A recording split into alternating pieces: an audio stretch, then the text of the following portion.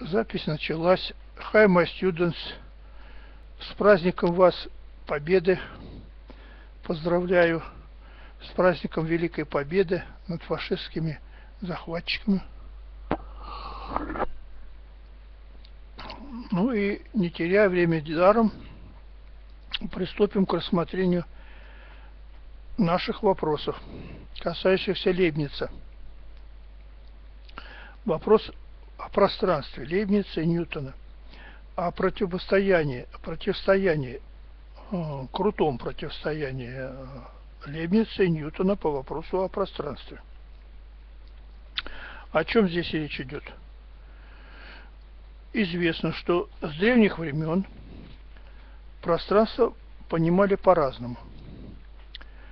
Одни ученые, ну, допустим, Демокрит, Эпикур, Лукреций, а после них Ньютон, считали, что пространство есть абсолютное пространство, пустое, неделимое и так далее, и в нем ничего нету, а располагаются какие-то предметы, а, и причем этих предметов меньше по сравнению с объемами этого пространства.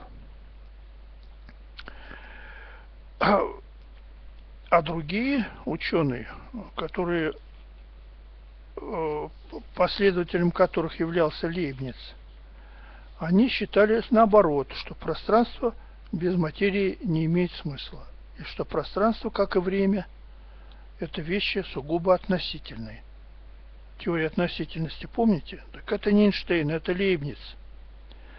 А, Лейбниц и его учителя – с Лейбница начинаем, начинаем мы считать в современных обозначениях дифференциальное числение и интегральное числение. Современное обозначение дал Лейбниц и современные понятия и терминологию. И одновременно тоже дело с теорией относительности. Он дал первый в современной физике, в современной интерпретации понятия пространства и времени как относительных величин – и вот мы сейчас этот вопрос рассмотрим. Пространство, мы э, знаем, что разные ученые по-разному понимают. Математики по-своему понимают пространство, физики по-своему, и философы, которые делятся, как известно, на два враждующих лагеря, они тоже по-другому понимают это пространство совсем по-иному. Ну, мы сначала рассмотрим математические пространства, которые являются ну, моделями а, для построения математических моделей а, рассматриваемых физических явлений. А, то есть математическую эту базу подводят под физические эксперименты, которые есть в практике. И вот здесь пространство первое это Евклидово, оно исторически вытекает из из геометрической теории Евклида. Есть э, трехмерное оно, это пространство. И кроме того, вот оно долго существовало, много веков, пока не появились Слободчевский, Боей и Риман и другие, которые придумали совершенно новые пространства, новые геометрии. Э, они уже, там другая совсем метрика, и координаты не прямолинейные не Декартова. Ну, мы с вами тоже, как студенты, мы можем каждый по своему пространству э, придумать. Для этого достаточно взять любую поверхность, которой не было, которую еще не рассматривали. Если вот, допустим, пространство Лобачевского на сфере, пространство, предположим, Римана там бои на седле, то можно взять любую другую поверхность, э, допустим, э, из вращений вольвента или любой спирали, вращение спирали вокруг некоторой оси. И вот на этой спиральной поверхности мы можем построить свое пространство. Поскольку спиралей много, то на каждого из наших студентов хватит по своей геометрии. И там будет своя метрика, свои углы, свои синусы, свои косинусы и свое соотношение треугольника. Далее математики рассматривают многомерные пространства, и Евклидова, и не Евклидова. векторное, Гильбертова, Рименова, функциональное, топологическое и так далее. Я могу перечислять здесь много, потому что математиков много, и у каждого э, бесконечное число вот этих вариантов э, игры, вот этой математической игры, которая э, для физики, для практики зачастую мало, никакой роли не играет. Кроме того, рассматривается еще ну, вот, практически важная такая э, теория, это про, пространство как множество объектов. Это уже современное понимание. Здесь для практики больше мы э, получаем практических э, ощущаемых результатов. Здесь пространство понимается как независимые точки, в том числе могут быть фигуры, функции, состояния физической системы. Особенно вот это важно для теории автоматов. Здесь мы имеем большие практические применения и выход большой в практику. Э, как э, вот такое пространство состояния некоторого автомата. Конечного автомата. Конечного или бесконечного. Дальше примеры пространства математических. Это метрическое пространство – который, как известно, обладает метрикой, то есть в котором определены расстояния, ну, отрез, и длина отрезков. Пространство событий, об этом я только сейчас говорил, пространство событий.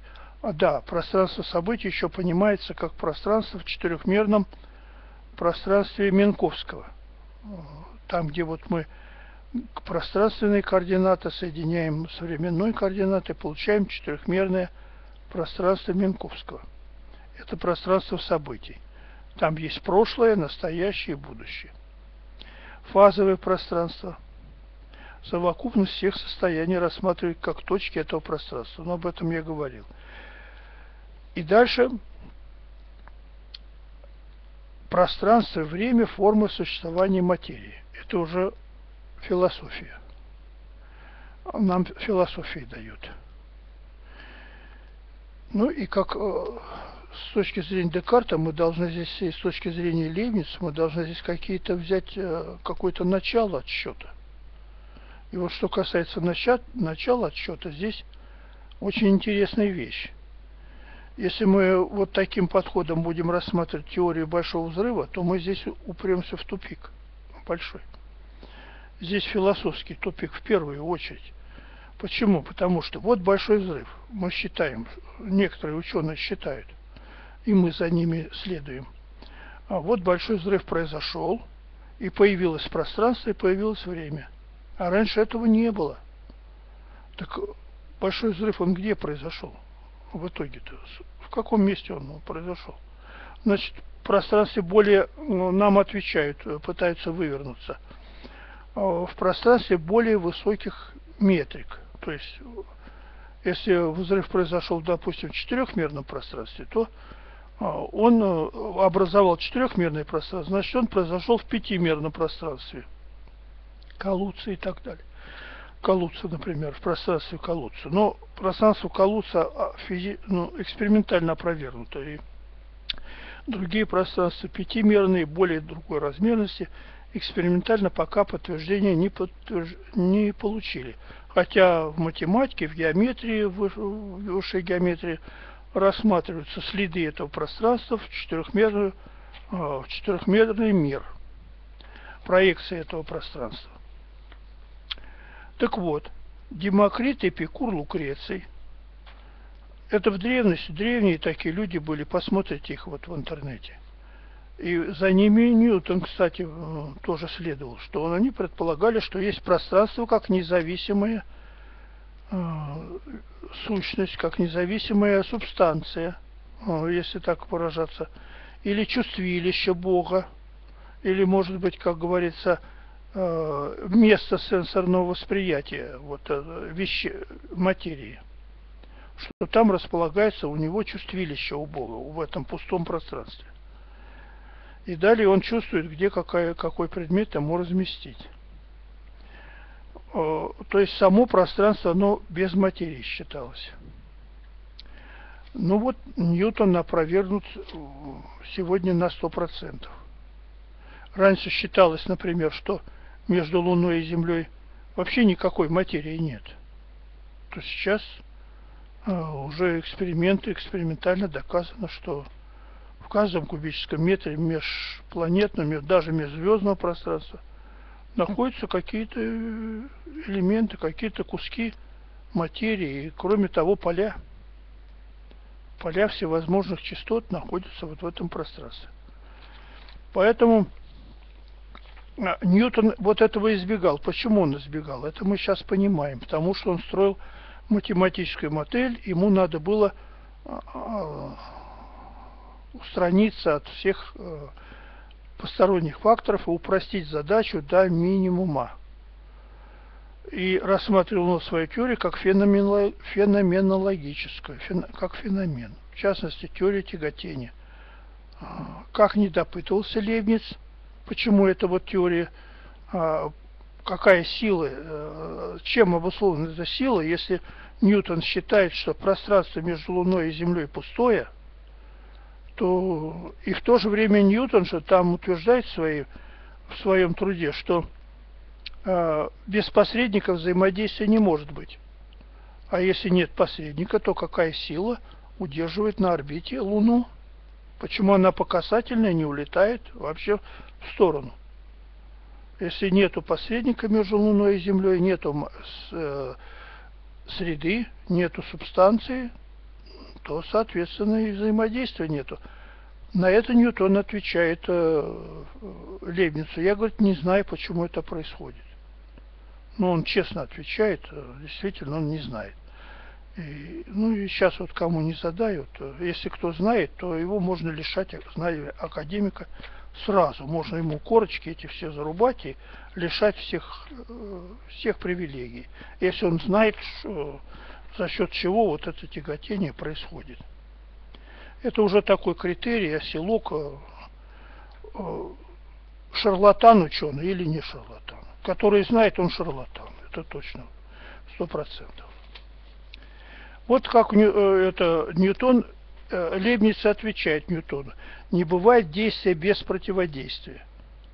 Это Ньютон пишет. А Лейбниц ему отвечает. Если пространство пустое, то почему Луна не улетает по касательной? Посредством чего действует сила тяготения? Ньютон отвечает в своем труде «Математические начала натуральной философии», который, кстати говоря, прек... имеет прекрасный перевод академика Алексея Николаевича Крылова.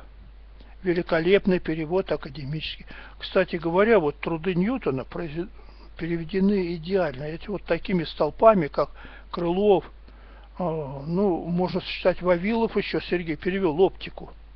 Сергей-то перевел оптику, да. Вот эти два труда краеугольных камней Ньютона, они переведены удивительными людьми, которые в совершенстве владели материалом.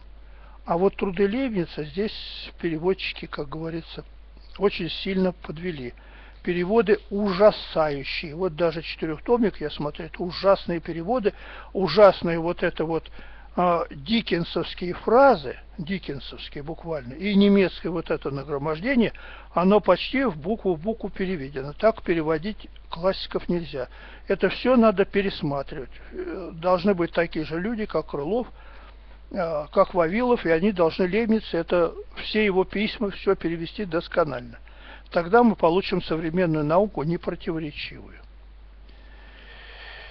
Далее, вот мы пишем, что признаки же этих свойств силы тяготения я до сих пор не мог вывести. Из явлений гипотез же я не измышляю – вот пишет, как вот э, это Ньютон. Вот здесь он честно пишет, что не мог, ну, до сих пор не мог.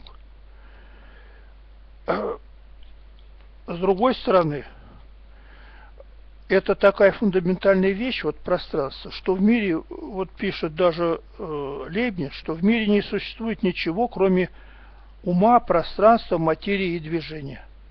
Ну, это касаемо материального вот мира его существования.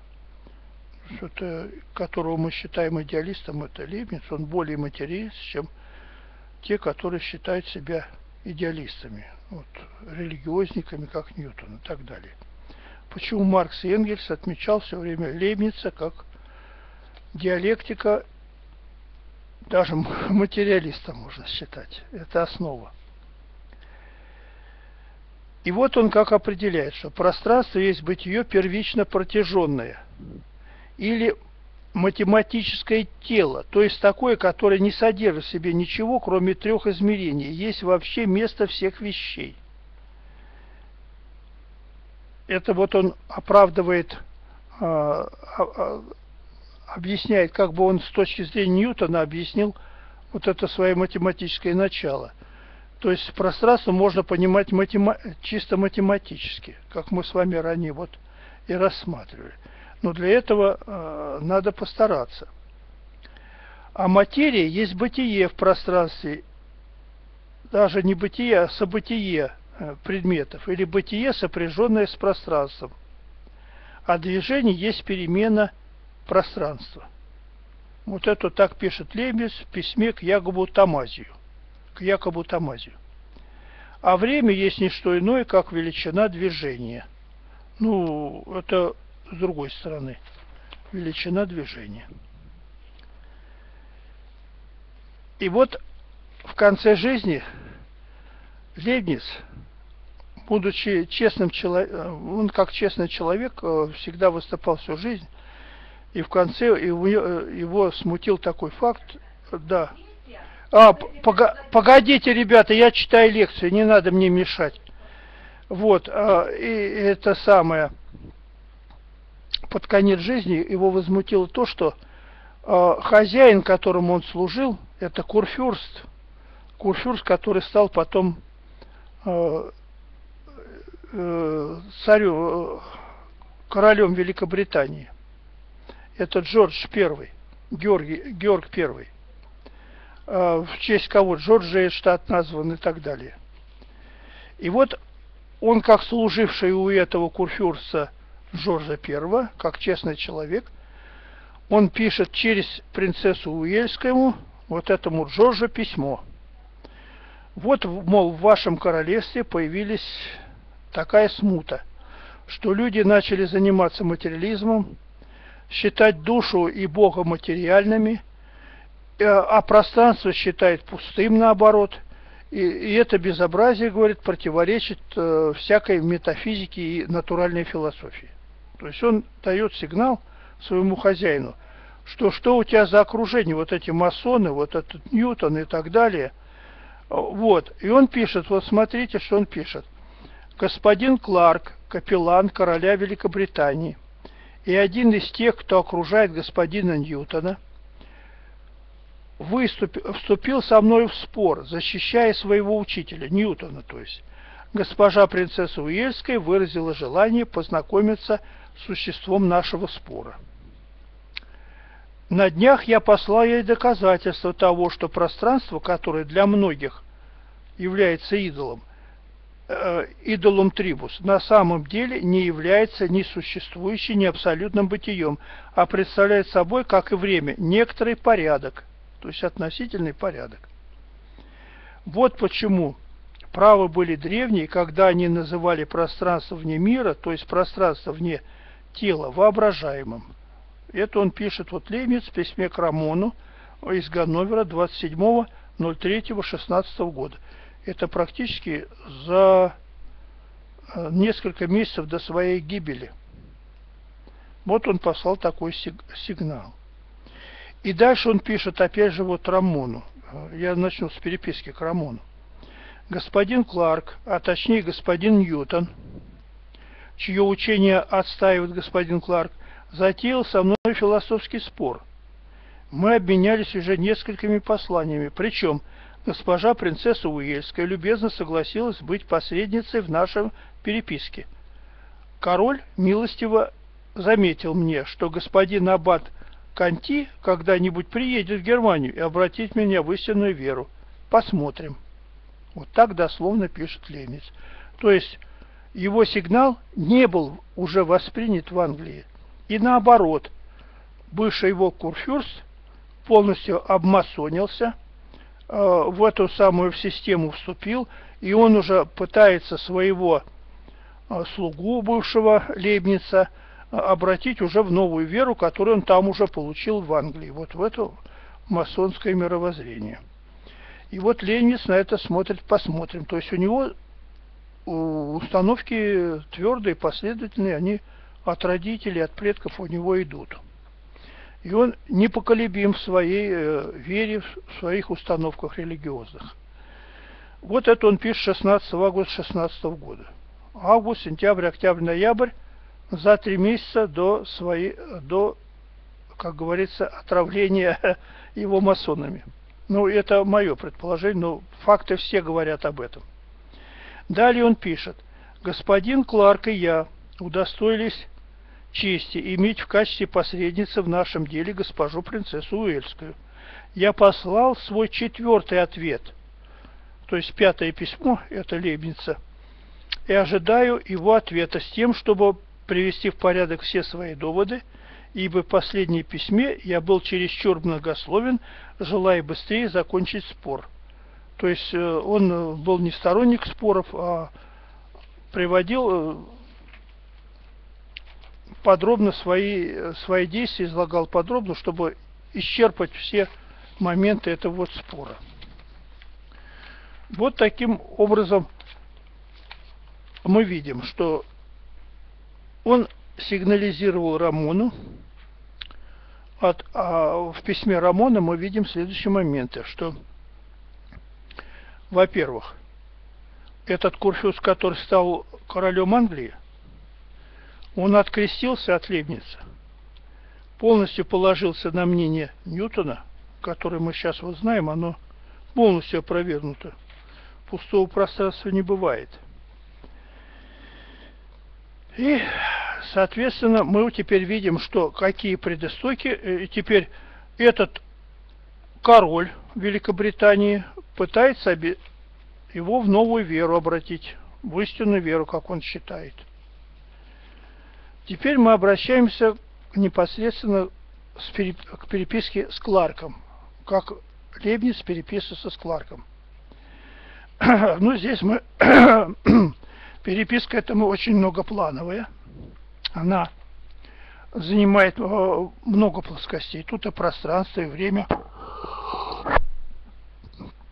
и материя, и логика – Поэтому для того, чтобы легче анализировать вот этот э, весь материал, хотя переписка не такая большая, но она по составу очень насыщенная, по своему философскому и научному составу она очень насыщена. Поэтому вот мы взяли здесь такое.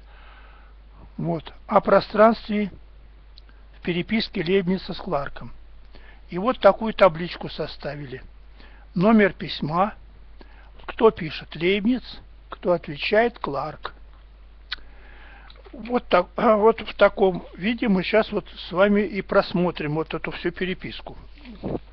И какое-то заключение вы дадите сами себе, исходя из своей уже базы знаний. Вот первое письмо. Он сигнализирует, когда Лебниц сигнализирует э, э, через принцессу Уэльскую, сигнализирует королевскому двору, что там у вас вообще смута в философии. Пошли Буцефалу служить, то есть эту не Буцефалу, а как Люциферу.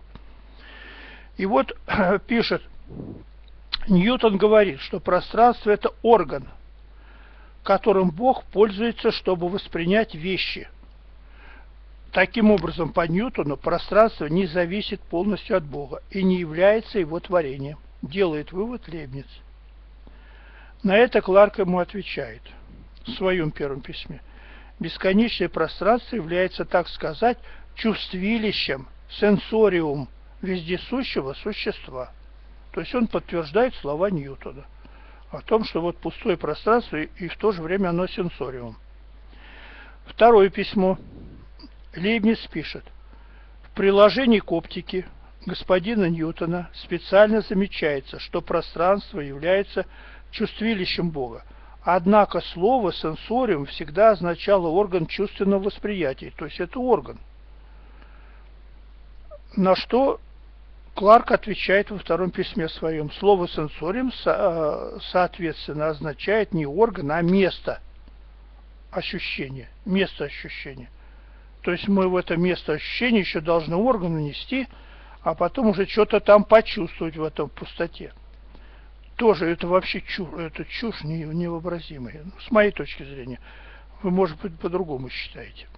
Вот дальше третье письмо. Эти господа таким образом утверждают, что пространство – реальное абсолютное существо. Ну, он понимает правильно, Лейбниц. А, но так как пространство имеет части, то есть пространство же можно разделить на части, то оно не соответствует о понятии Бога.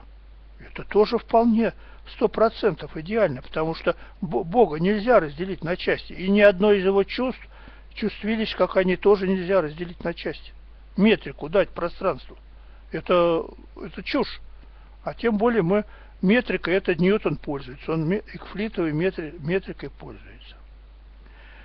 И вот дальше Лейбниц пишет в третьем письме. «Я считаю, что пространство, так же как и время, чем-то чисто относительным, пространство порядком существования, а время порядком последования. Порядком последования.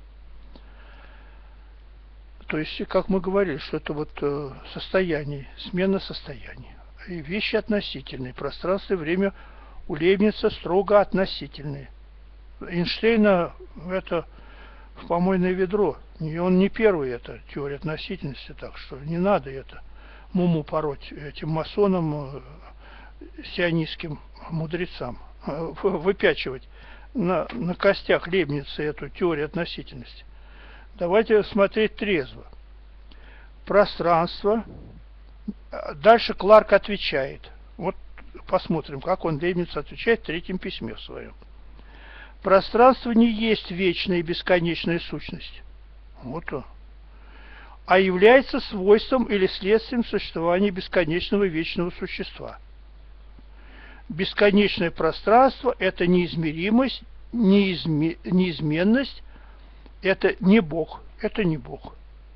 Ну, то есть, если ты до сих пор считал, что это чувствилище Бога, и в то же время оно является не вечно и бесконечно, значит, у Бога можно какой-то орган чувства отнять или, или место чувствования, чувствилища отнять и оно будет, значит, все это.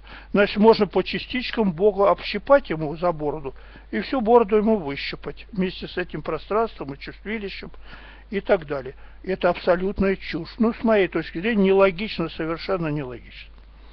И дальше Кларк пишет, что пространство и время являются количествами, чем количествами, чем положение и порядок не являются. То есть с, с, одной точки зрения он считает, что пространство нельзя делить, а с другой стороны они у него появляются количествами. То есть э, если количество, то можно их измерить, значит можно разделить. Можно разделить на, на элементы меры какой-то. То есть тоже э, с моей точки зрения нелогично, не знаю как с вашей. Далее смотрим. Четвертое письмо Лебница. Если пространство пред собой, э, представляет собой свойство, или атрибут, то оно должно быть свойством какой-нибудь субстанции. Если бесконечное пространство представляет собой неизмеримость, то есть конечное пространство будет измеримостью. Пустое пространство есть атрибут без субъекта, протяженность без протяженного. Если пространство есть свойство, то это приводит к порядку вещей. То есть вот, а опираясь на противоречие вот этого Кларка, он ну, опять поясняет свою точку зрения, что пространство есть порядок вещей, о чем, что вытекает из рассуждения самого же Кларка. Если пространство абсолютно реально, то оно уже не свойство или качество, а является субстанцией, то есть какой-то подстанцией материи, э, самих субстанций, и, и не, по, э, и не подвластны переменам. Не подвластны переменам. Абсурд, когда говорят, что бесконечное пространство не имеет частей. Ну, то есть он, он сам, Кларк, противоречит, он говорит, что там пространство и время – это количество.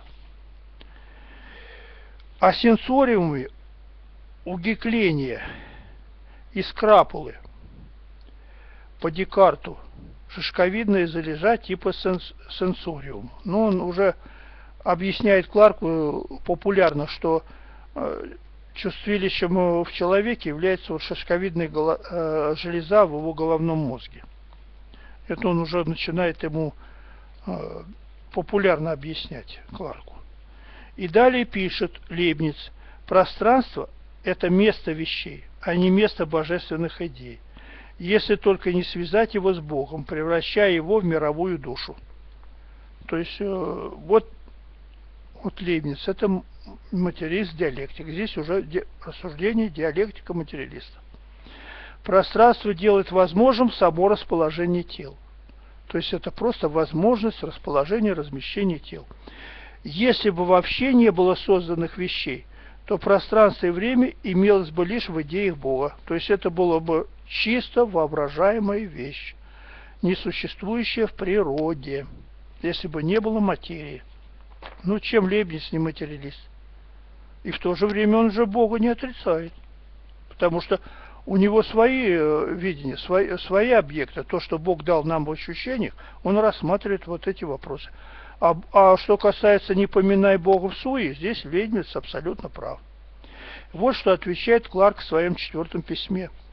А, чем он аргументирует, чем он покрывает, какими козырями. Сейчас посмотрим.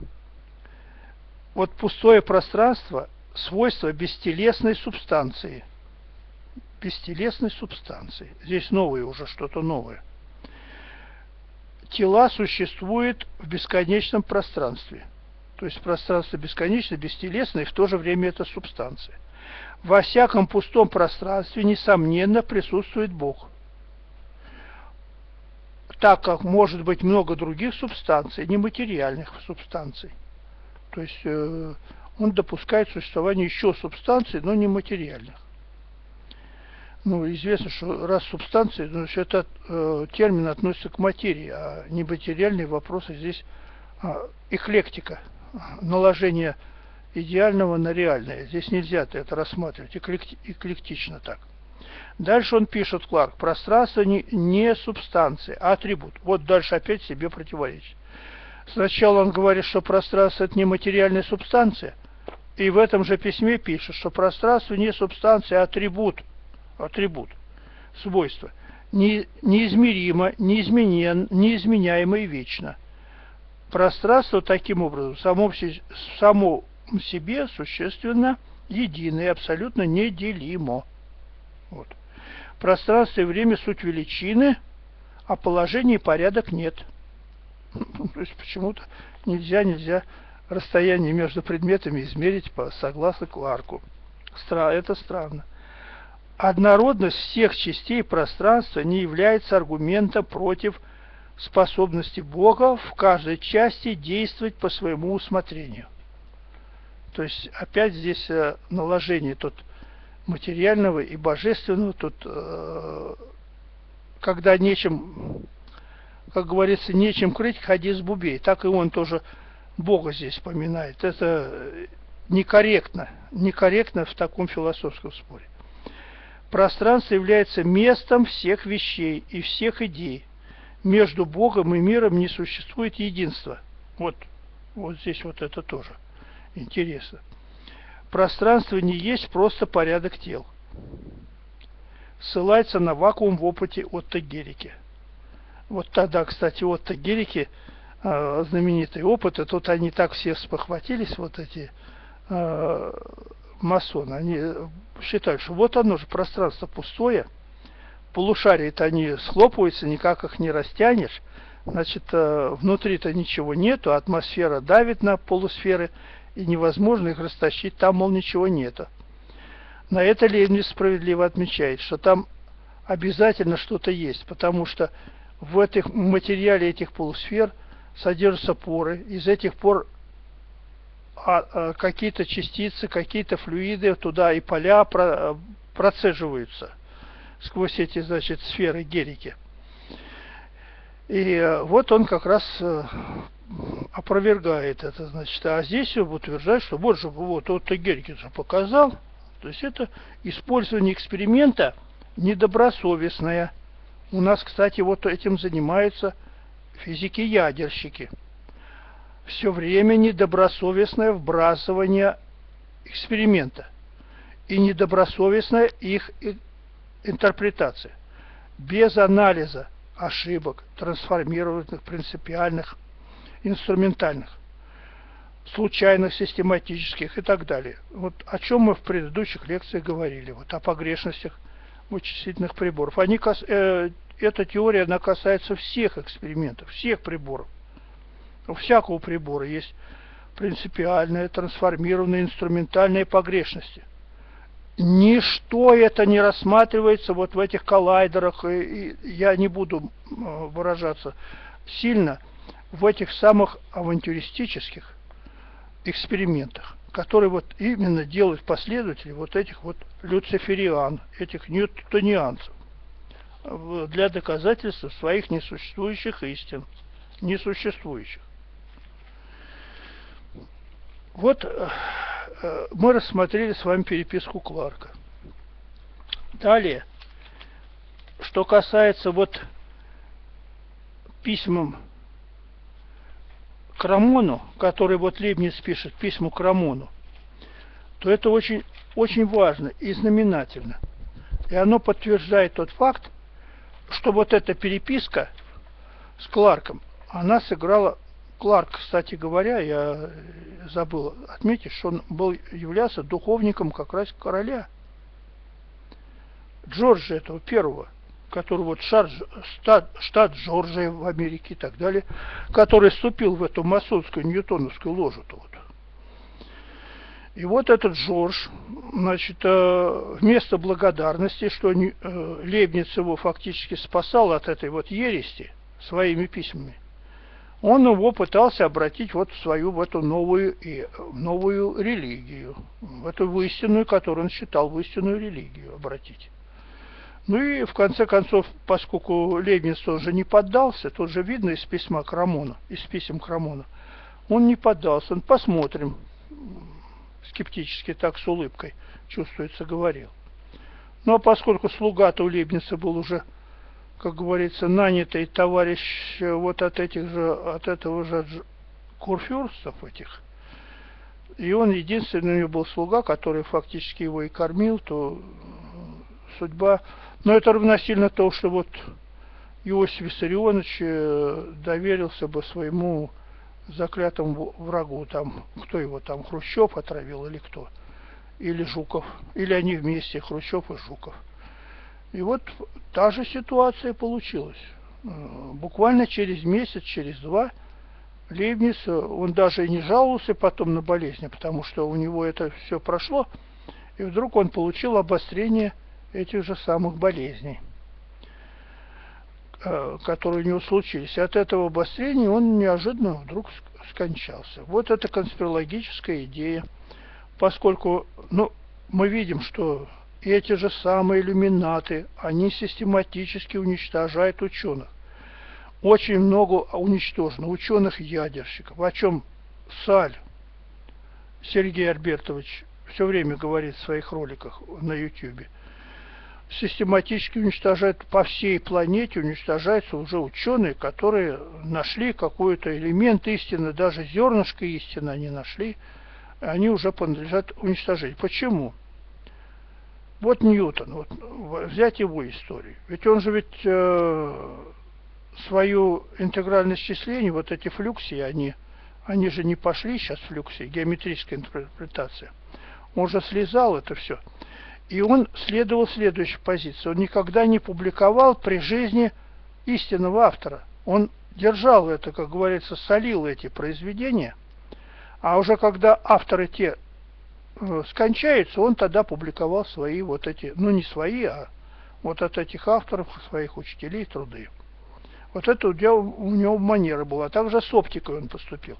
Он свою оптику мариновал, мариновал десятилетиями, пока не скончались все, кто принимал участие в ее разработке. И тогда он от своего имени вот это вот опубликовал. Также действовали и другие. Вот Эйнштейн, он откровенно ничего не стесняясь от имени Панкаре там и других, и Герца, и Хевисайда, и других, и Максвелла, и без их участия все это дело публиковал. И дальнейшее всего исследования их, этих иллюминатов были основаны на воровстве. А, вот таким образом. Также поступала вся фашистская Германия, которая обворовывала мир и физически, и интеллектуально. Но ей в 1945 году, сегодня 9 мая, пришел конец этой гитлеровской фашистской всей машине. Ну, желаем также, чтобы мир расправился с иллюминатами, которые ответственны за воровство, за коррупцию, за наркомафию и за теорию а, золотого миллиарда. Вот желаем тоже миру всему победить вот эту вот фашистскую заразу иллюминатство. Всего вам доброго.